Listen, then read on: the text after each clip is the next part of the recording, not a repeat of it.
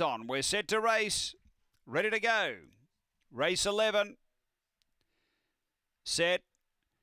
Racing. And uh, pace out deep. Burning Nitro came out quickly. Justice for All going with it. Justice for All burns through to lead from Burning Nitro. And behind those, Stanley keeping, retaining the fence running.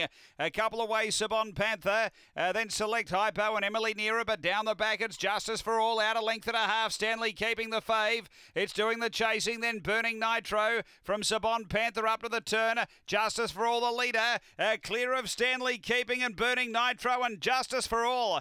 Justice for all. Beat Stanley keeping Burning Nitro and Emily Nearer. Uh, then Sabon Panther and Select Hypo. The time here is around 30 and 50. After the running of race number 11, a lot better start tonight for Justice for All. He came out running and was able to cross down and find the lead and uh, able to hold Stanley keeping the entire journey. Eight is third, which is Burning Nitro. 7184. They are the numbers. Seven the